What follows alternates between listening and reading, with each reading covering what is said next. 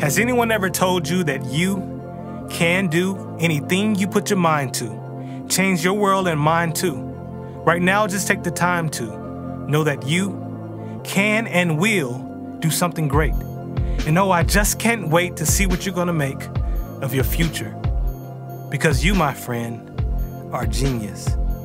And listen, I really mean this. There's never been someone quite like you to come up on the scene. It's amazing. And I hope you're hearing what I'm saying. I can see it in your eyes. There lies what we've been waiting for. There's a certain style in the way you dress, your smile in the way you press, your clothes, and yes, it shows your fashion goals. I'm quite impressed. On the real, it's just a thrill to watch you play with such skill. Make defenders look hurt as they watch your footwork. Actually, it's magical. Practically, you're a natural. The way you strategize and analyze your art is so mathematical.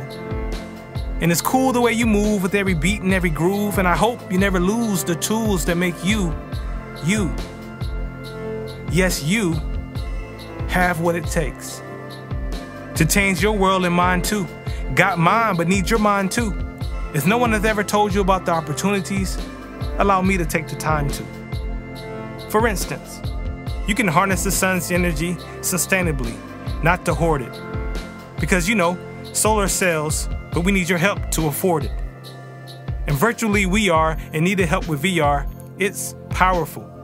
Revolutionizing training and gaming with you, it's possible. I mean, you can really change things. I hope you're listening. Hint. You can hit the world up with more access to clean water so we won't miss again. Flint. And no, it won't be easy, but it's worth the work and the wait. I know because she did it and he did it, and so did they. They all opened the door so you can open some more. Background, no excuse to back down, but instead, this is what you were built for. Science has done a lot, but there's still a lot more work to do. True, the challenges are great, but there is greatness in you. We can use more of your perspective, and not to mention this too. You say, How can I make a difference? I say, The difference is you. Listen to me closely. I want you to know that I mean this. You may not realize it yet, but we're waiting. The world is waiting on your genius.